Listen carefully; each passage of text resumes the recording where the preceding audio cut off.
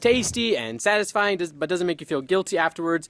What you need are snacks from NatureBox. Choose from over 100 healthy and crave-worthy options to be delivered right to your door. All their snacks are all made with zero artificial flavors, colors, or sweeteners, zero grams trans fats, and no high fructose, fructose corn syrup. Uh, and best of all, they taste really good. Uh, That's not lying at all. It's actually, they're really all amazing. Uh, so much better for you than other snack options out there. So next time you're hungry, grab sweet blueberry almond, salted caramel pretzel pops, and Parmesan garlic pop pops. Um, I also, I managed to get, I like, get off of, Penny? Penny, Penny, what nature box do you like? Penny likes the Big Island pineapples as well as the praline pumpkin seeds, right, Penny?